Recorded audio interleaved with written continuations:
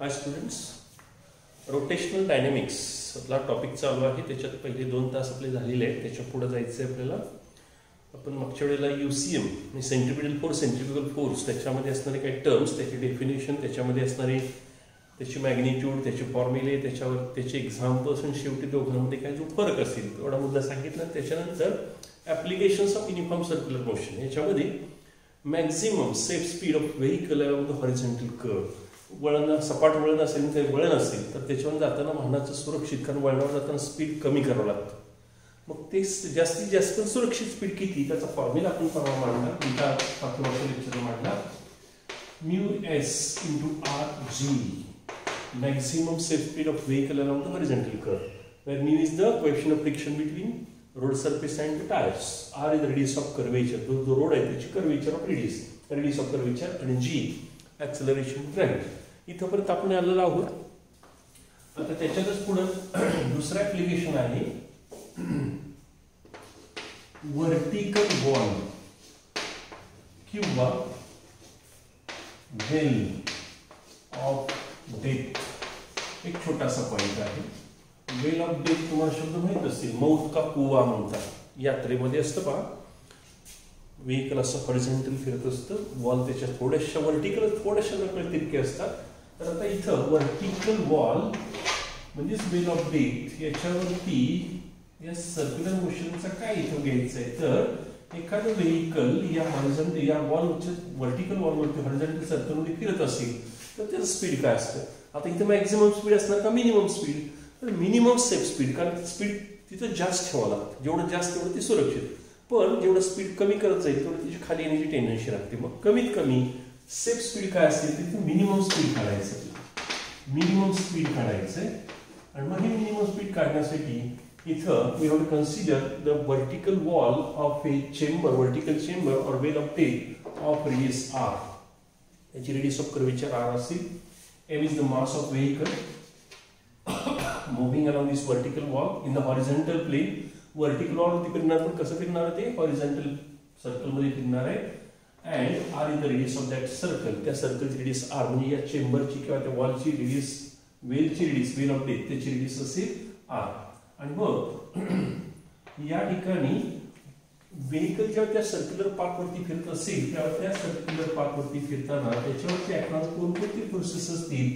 Different forces acting on vehicle in that condition are एक म्हणजे weight of vehicle weight of vehicle उंची दुसरा act होणार आहे व्हर्टिकली डाऊनवर्ड हे असेल एमजी पहिला फोर्स ते मास त्याची एम असेल तर वेट एमजी दुसरं नॉर्मल रिएक्शन आता इथं नॉर्मल रिएक्शन असेल तर असेल नॉर्मल रिएक्शन एम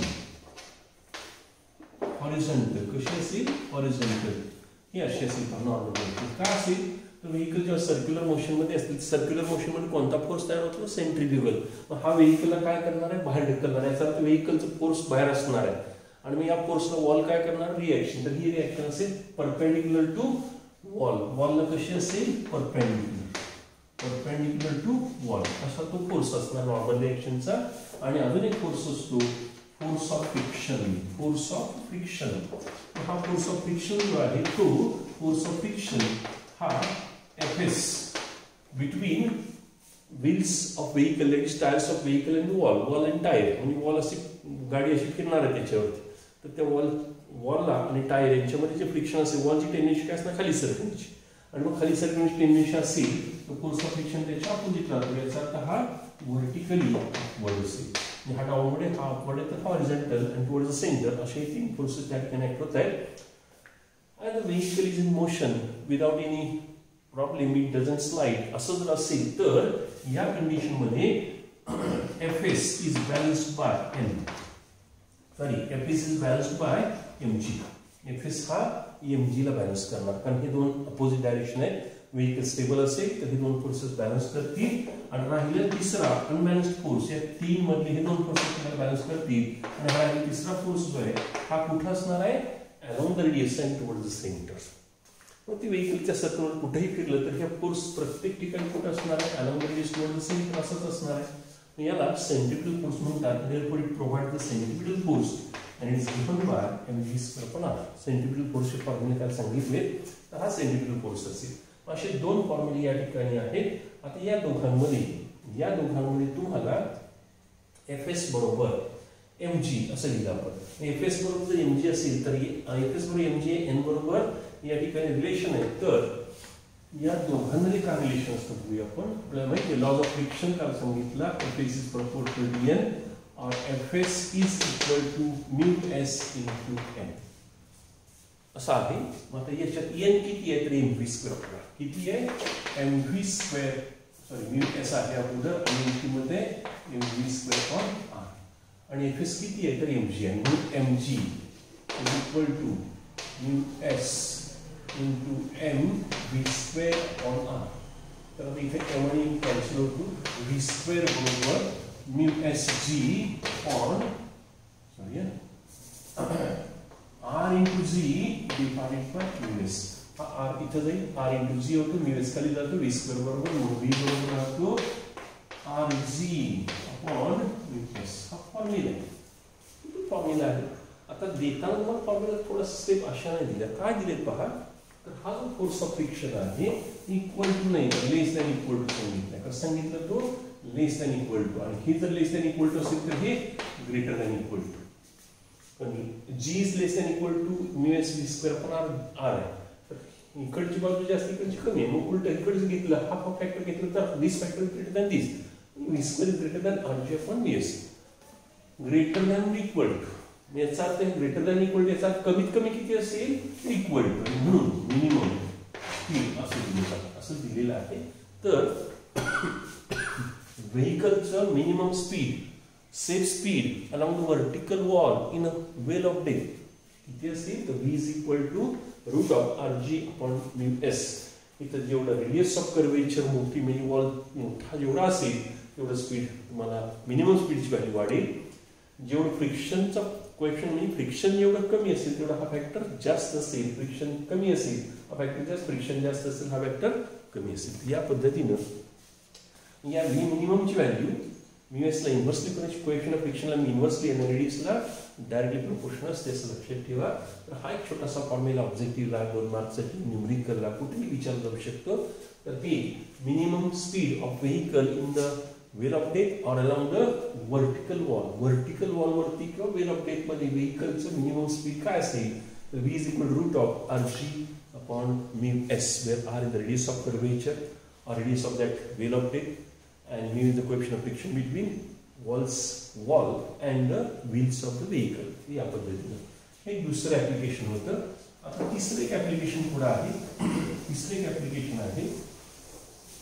कशाचे ऍप्लिकेशन सांगतोय आपण application of UCM uniform circular मोशनचे applications आहेत तर त्याच्यात तिसरं ऍप्लिकेशन असेल banking of road banking of road तर रोडचं बँकिंग काय रोडचं बँकिंग असेल तर बँक हा शब्द वेगळा बँकिंग ही प्रोसिजर आहे एक प्रोसेस आहे आणि आपण हे पाहिलेलं पण आहे आपण वळणं सगळीकडेच पाठवून घाटातली वळणं थोडीशी वेगळी असतात घाटातली वळणं कशी असतात? तर घाटातला जो रोड सरफेस असतो तो असा सपाट नसतो थोडासा तिरका असतो.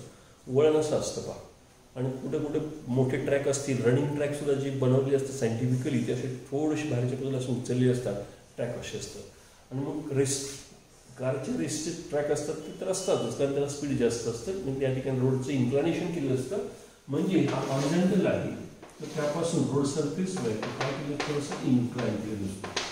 सरफेस ऑफ़ रोड काय केलं होतं इन्क्लाइन केलं असतं ठाण म्हणून कशापासून हॉरिझॉन्टल पासून आणि ही जी अरेंजमेंट आहे ही जी प्रोसेस आहे याला म्हणतात बँकिंग ऑफ़ असं असेल आपण विचार वळण असं असेल ही बाहेरची बाजू यातली बाजू तर the process in which the road surface किंवा surface of road at the curve किंवा surface of the curve road the process in which the surface of the curve road is inclined at some suitable angle with the horizontal is called as the banking of road तर banking of road म्हणजे अशी procedure आहे की ज्या प्रोसिजरमध्ये ज्या प्रोसेसमध्ये road surface हॉरिझॉन्टलपासून काय केला जातो?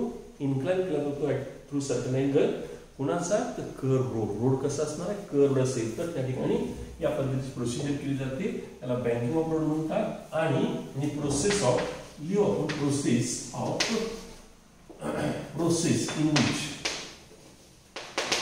road surface of surface of curved road surface of curved road is inclined is inclined at some suitable angle at some suitable angle inclined at some suitable angle with कशाशी केलं असतं angle हा with horizontal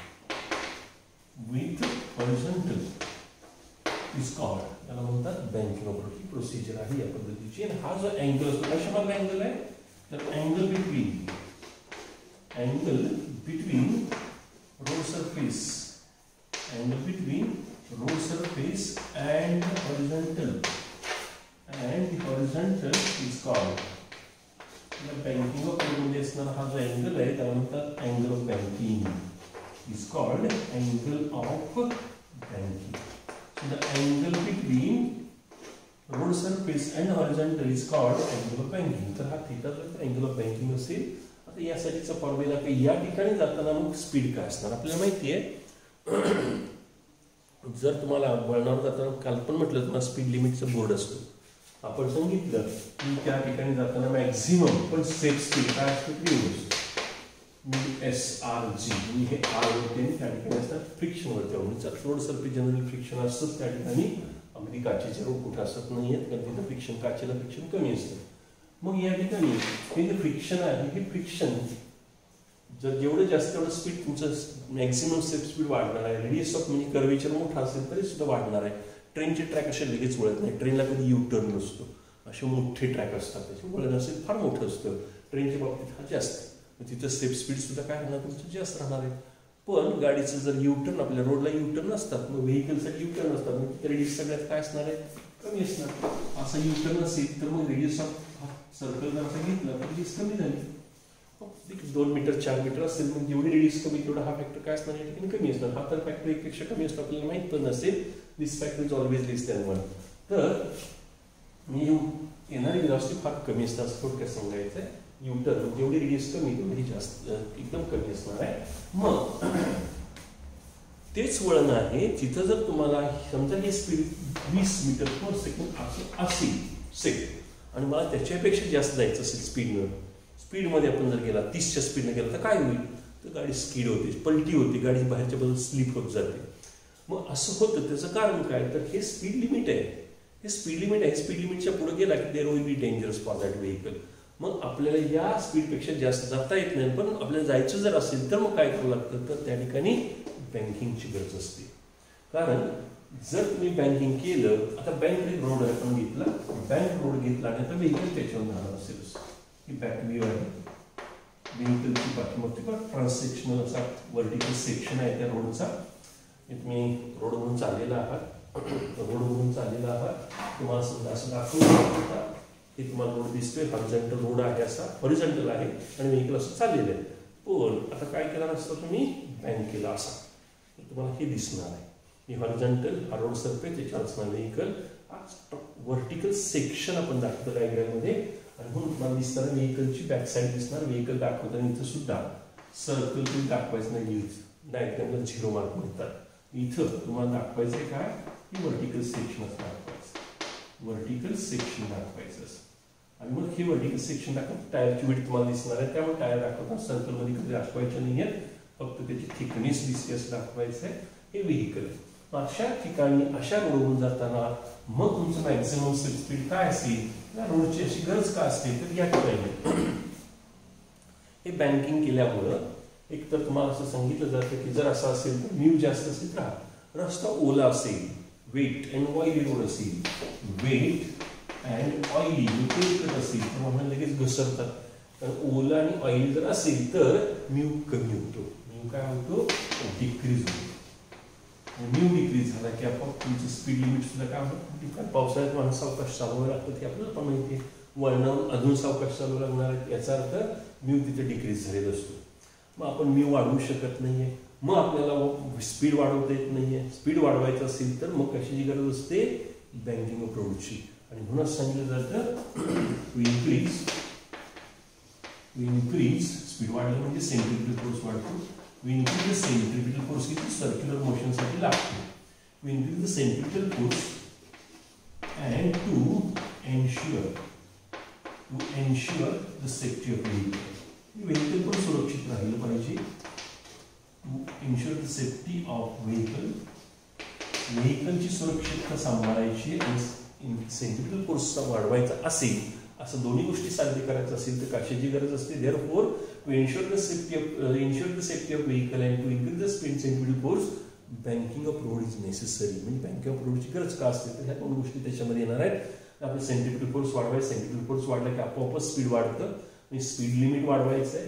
म्हणजे सेंटिफिक force वाढवायचा आणि नुसतं seat speed limit वाढवायचं नाही. स्पीड वाढवायचं नाही. तर व्हेकल पण सुरक्षित राहायचं करायचं आहे. या दोन गोष्टींसाठी कशाची गरज असते. मग banking of road is necessary असे आपण या ठिकाणी सांगू शकता. मला विचार करायचं तर असं पण विचारलं जातं short क्वेश्चनमध्ये what is banking of road and why is it necessary banking of road म्हणजे काय त्याची गरज काय? तर गरज सांगताना आपण हॉरिझेंटल कोडसाठी हे स्पीड असतं. हे स्पीड वाढवता येत नाही आहे मग अजून कमी होतं. वेट आणि अगदी रोडमुळे कमी होतं. आणि म्हणून हे जर स्पीड लिमिट वाढवायचं असेल तर तर म्हणजे सेंट्रिपिटल फोर्स वाढवायचा असेल आणि वाहन सुरक्षित ठेवायचं असेल तर कशाची गरज असते? बँकिंग ऑफ रोडची गरज असते असं आपण सांगू शकता. मग आता या बँक करून अशा पद्धतीचा जर बँक करून घेतला we have consider vehicle of mass m vehicle mass m असेल. द स्पीड त्या ठिकाणी त्याचं स्पीड असेल. R is the radius of curvature जो कर्व असणार याचा वळण असणार त्याची रेडियस असेल. आणि theta is angle of banking theta is angle of banking तर आता इथं theta is the angle of banking याच्यात दोन केसेस आहेत याच्यात दोन केसेस आहेत तर पहिल्यांदा इथं फ्रिक्शन निग्लेक्ट करायचं without friction neglecting friction friction विचारलं घ्यायचं नाही फ्रिक्शन विचार घेतलं काय होते चर्चा फ्रिक्शन विचारात घेतलं तर काय होते चर्चा पुढे करतोय पण आता विदाउट फ्रिक्शन आपण घेतोय मग असं जर असेल तर विदाउट फ्रिक्शन आपण विचार करतो मग आता इथं वेगळे फोर्सेस कोणते आहेत? In this case without considering forces are neglecting the force friction what are the different forces acting the vehicle तर एक असेल वेट ऑफ व्हेकल एक असेल पहिला फोर्स असणार आहे तो वेट ऑफ व्हेकल वेट तर असणार आहे एम आहे जी आहे वेट असणार आहे. Weight m g acting vertically downward vertically downward हा vertical आहे. पहिल्यांदा असेल तो vertically downward force second one normal reaction road आणि सरफेस यांच्यामध्ये नेहमी ॲक्शन असते कुठली बॉडी असेल तर वेट रिॲक्शन ॲक्शन असणार त्याला रिॲक्शन असेल नॉर्मल रिॲक्शन दुसरा फोर्स आहे नॉर्मल रिॲक्शन कसं असणार आहे perpendicular to road surface perpendicular to road surface road surface हा परपेंडिक्युलर असेल आणि या पद्धतीने हे दोन फोर्सेस आहेत आणि यातला to provide the centripetal force आता सेंट्रिपिटल फोर्स या बाजूला असणार आहे. हा हॉरिझेंटल आहे. म्हणजे आत याच लाईनमध्ये सेंटर असणार आहे. या हॉरिझेंटलला पॅरल म्हणजे सेंट्रिपिटल फोर्स असा पाहिजे ना आपल्याला आतल्या बाजूला toward the centre horizontal toward centre तर या ठिकाणी to provide the centripetal force to provide the centripetal force what can be done तर इथं सेंट्रिपिटल फोर्स जर प्रोव्हाइड करायचा असेल this can can resolve in two components आणि नॉर्मल रिएक्शन आहे हा दोन कंपोनेंट्स मध्ये रिझॉल्व केला जातो स्प्लिट केला जातो एक असेल वर्टिकल दुसरा असेल हॉरिझॉन्टल आता हा जर थिटा असेल तर बघा आता काय सांगतो हॉरिझॉन्टल आहे आणि नॉर्मल रिएक्शन आहे आता रोड सरफेस किती अँगल पण आपण घेतोय थिटा म्हणजे तीस अँगल तर तीस वरती असा घेतला तर नॉर्मल पण त्याच्यावर फिरणार आहे. मग जेवढ्या रोड जेवढ्या अँगल हा रोड सरफेस उचलला जातो, तेवढ्या अँगल नॉर्मल रिएक्शन सुद्धा इन्क्लाइन होते. हा थिटा असेल तर हा थिटा असेल हा थिटा जर असेल तर याचा हा कॉम्पोनंट राहतो थिटाच्या साईडचा कॉम्पोनंट असतो नेहमी कॉस आणि दुसऱ्या साईडचा कॉम्पोनंट असतो साईन म्हणजे या एनचे दोन कॉम्पोनंट्स असतात n cos theta vertically upward आणि एन साईन थिटा हॉरिझॉन्टल कसा असेल तो हॉरिझॉन्टल मग या दोन कॉम्पोनंट्स याचे दोन कॉम्पोनंट्स दाखवताना मात्र असं दाखवायचे ते लक्षात घ्या हा जर एन असेल तर एन आणि एन साईन थिटा आणि कॉस असे दाखवायचे जेणेकरून हा पॅराग्राम तयार झाला पाहिजे. याचे कंपोनंट्स हे दोन कंपोनंट्स असतील हा कंपोनंटचा रिझल्ट असेल. आपल्याला डायग्राम अशी दाखवायची नाही कधी किंवा डायग्राम हे असं दाखवायची नाही अशी प्रोसेस कशी दाखवली असं नाही आहे म्हणजे एन आपण दाखवला इथं आणि हे त्याची कंपोनंट दाखवली. ही डायग्राम चुकीची होती. हे लक्षात ठेवायचं आहे जेणेकरून हे तीन जोडले तर तुमचा पॅराग्राफ तयार नसला पाहिजे. इथंपर्यंतच ही दोन प्रोसेस पाहिजे. त्या तिन्ही लांबी दाखवायची नसते. तर यापूर्वी ही दोन प्रोसेस आपण रिझॉल्व्ह केलेली आहे Now, from this figure, this n cos theta, n cos theta balances the weight. हा वर्टिकली आपण हा वर्टिकली डाऊनलोड त्याचा याला बॅलन्स करणार आहे तर अनबॅलन्स्ड कॉम्पोनंट आता हा रिसॉल्व्ह केला. याचे दोन भाग केले. मी हा घालवला. याचे दोन कॉम्पोनंट त्यापैकी हा आणि हा बॅलन्स झाला. पाहिजे हा हा अनबॅलन्स्ड फोर्स आहे. कसला आहे? अनबॅलन्स्ड फोर्स आहे.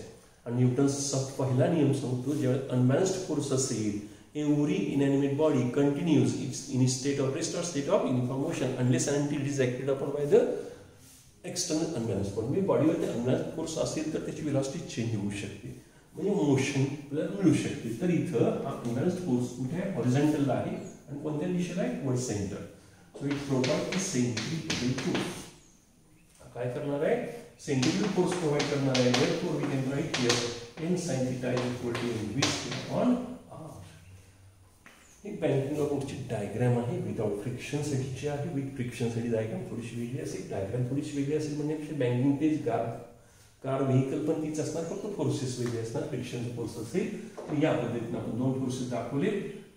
हे दुसरे इक्वेशन हे पहिलं equation equation two equation equation दोनला इक्वेशन एक भागलं. मी साईन अपॉन क्रॉस करतो एन साईन थिटा पण एन कॉस ना तर इकडं एम व्ही स्क्वेअर कॉर्नर डाव्या बाजूला डाव्या बाजून भागतोय उजव्या बाजूला उजव्या बाजून भागतोय एन साईन थिटा पण n cos theta m v square पण डिवाइड बाय एम इथे येणार n cancel m m g cancel sine upon cos tan राहतो tan is equal to v square upon r भागिले g which is v square upon r g हा therefore theta is theta is equal to tan news tan न्यूज घेतला v square upon r g या प्रकारे तुम्हाला theta is equal to tan inverse of v square upon rg असं relation with the angle of बँकिंगचा formula आहे आणि हा कशामध्ये म्हणे तर स्पीड जेवढं स्पीड तुम्हाला जास्त पाहिजे असेल तेवढं अँगल ऑफ इन्क्लिनेशन जास्त पाहिजे जेवढं स्पीड जेवढा अँगल तुम्हाला म्हणजे आर जेवढा जास्त असेल तेवढा हा फॅक्टर कमी येणार थिटा कमी येणार आहे याचा अर्थ थिटा वाढवायचा असेल तर रेडियस काय करावं लागेल तुम्हाला कमी करावं लागेल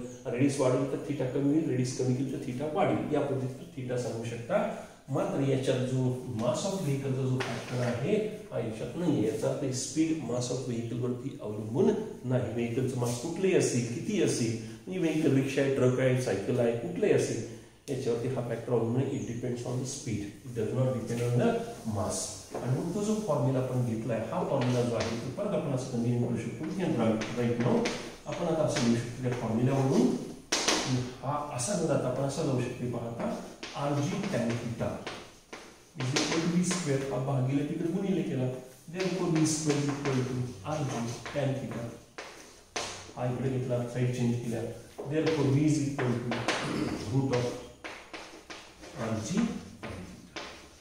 without friction फिक्शनचा विचार न करता आपण जर डायरेक्ट बँक रोड कन्सिडर केला तर तुम्हाला त्या स्पीडवरून त्या सध्या ट्रॅकवरून त्या बँकवरून जाताना स्पीड काय असेल व्हेकलचं तर that is given by v is equal root of r g tan theta तर ही आपण आपण मगाशी मी एस आर जी म्हटलं होती. तर मी एसच्या जागी काय आलाय? टॅन थिटा आलाय. बँक कर्व म्हटलं की हा फॉर्म्युला असेल पण फ्रिक्शन मात्र इथे विचार घेतली आणि फ्रिक्शन विचार घेतल्यानंतर या फॉर्म्युलामध्ये काय बदललेलं आपण पुढे सांगतोय. पण without friction by neglecting the friction the maximum safe speed of vehicle along the horizontal curve formula like v equal to root of r g tan theta जो मगाशी आपण हॉरिझॉन्टल कर्वसाठी लिहिला होता horizontal कर्वसाठी formula v max is equal to root of mu s rg इथे mu s आहे त्याच्या इथं टॅन थीट आहे. आणि बँक कर्वसाठी असताना अँगल ऑफ बँकिंग आहे. हा पण फॅक्टर अर्थातच हा फॅक्टर एकपेक्षा जास्त नसतो हा फॅक्टर एक किंवा एकपेक्षा जास्त असतो. टॅन थीटाची किंमत थिटा जसा वाढेल तसा टॅन थिटा वाढतो. टॅन फोर किंमत एक असते याची किंमत कधीही एकपेक्षा जास्त नसते. अर्थात हा एकपेक्षा कमी असतो. हा एक पेक्षा कमी आणि एकपेक्षा जास्त. असतो म्हणजे हा एकपेक्षा वाढला की अर्थातच स्पीड काय असणार आहे? वाढणार आहे. म्हणजे हॉरिझॉन्टल कर्वपेक्षा बँकिंग बँक कर्ववरती स्पीडची व्हॅल्यू जास्त असू शकते. So this is the maximum safe speed of vehicle along the banked curve and it depends on radius of curvature, angle of banking, but it is independent of mass of vehicle. Mass of vehicle वरती हे speed अवलंबून नाही. Does not depend on mass of vehicle म्हणजे हे speed limit जे आहे speed limit जे आहे मॅक्झिमम सेफ स्पीड जे आहे हे स्पीड लिमिट रिक्षासाठी वेगळं ट्रकसाठी वेगळं कारसाठी वेगळं बससाठी वेगळं असं नाही. कारण हे मासवरती अवलंबून नाही. जिथं कर्व असेल तिथं स्पीड लिमिटचा बोर्ड असतो. ते स्पीड लिमिट सगळ्या व्हेकलसाठी सारखं असतं. कारण it is independent of mass of vehicle त्या पद्धतीनं आपण बँकर आणि त्याच्यासाठी असणारा फॉर्म्युला या ठिकाणी सांगितलेला आहे. आपण याच्या पुढचा जो भाग आहे थोडासा विथ फ्रिक्शन आहे. फॉर्म्युले अजून थोडीशी पुढे आहे. स्टेप थोडे बऱ्यापैकी आहे. त्यामुळे आता न कंटिन्यू करता पुढच्या वेळच्या लेक्चरमध्ये आपण ते इंट्रोड्यूस करणार आहोत. याचा सेकंड पार्ट जो आहे हा हा झाला पहिला आपण. विदाउट फ्रिक्शन विथ फ्रिक्शनचा जो पार्ट आहे आपण फार तर याला ए म्हणूया. आणि पुढचा पार्ट जो बी असेल तो पुढचा पार्ट आपण सांगणार. त्याच्यामध्ये स्टेप्स आहेत. बऱ्यापैकी स्टेप्स आहेत. थोडंसं फॉर्म्युलामध्ये अजून इथे फोर्सेस जे आहेत ते फोर्स अजून वाढणार आहे. कारण फ्रिक्शनचा फोर्स फ्रिक्शन कन्सिडर करणार फ्रिक्शनचा फोर्स विचारात घेणार आहे. फोर्सेसचे कंपाऊंड्स वाढणार आहे. त्यामुळे इक्वेशन्समध्ये बदल होईल. इक्वेशन्समध्ये झाला की याच फॉर्म्युल्यामध्ये बदल होणार आहे. तो काय असेल? आपण पुढच्या नेक्स्ट टाइमला आपण चर्चा करणार डायग्राम करता लक्षात ठेवायचं आहे रोड सर्फेस असेल प्रेझेंटल असेल बँगलोर बँकिंग असेल व्हेकल दाखवताना चाकं दाखवायची नाही. हे लक्षात ठेवा. व्हेकल तुम्ही असं दाखवलेलं आहे. आणि तुम्ही चाकं अशी दाखवली. चाकं दाखवली की तुम्ही व्हेकल दाखवता इकडून नंतर व्हेकल खाली निघाला असेल तर चाक होते तर व्हेकल खाली नाही व्हेकलचा हा क्रॉस सेक्शन आहे.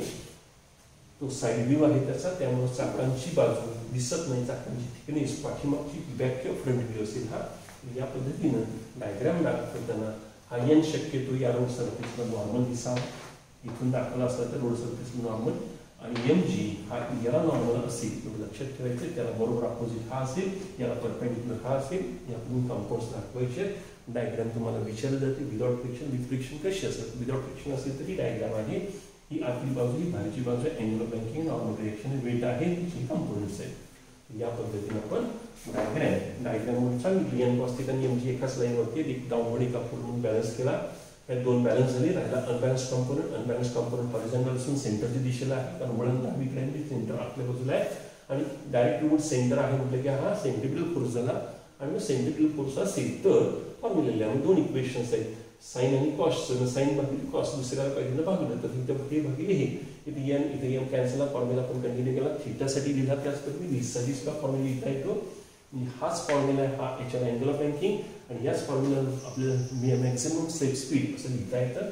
तर या पद्धतीचे हे दोन फॉर्म्युले आहेत. फक्त या फॉर्म्युल्यामध्ये या ठिकाणच्या कंडिशनमध्ये फ्रिक्शन निग्लेक्ट केलेलं आहे. फ्रिक्शन कन्सिडर केलेलं नाहीये. तर फ्रिक्शन विथ फ्रिक्शन काय असेल? अशी पुढची केस आहे. ही ए झालं तर पुढच्यामध्ये विथ फ्रिक्शन काय होईल? असा पुढचा भाग आहे. तर आपण तो आता न कंटिन्यू करता पुढच्या वेळी कंटिन्यू करणार आहोत. आपण इथंच थांबतोय. Thank you thank you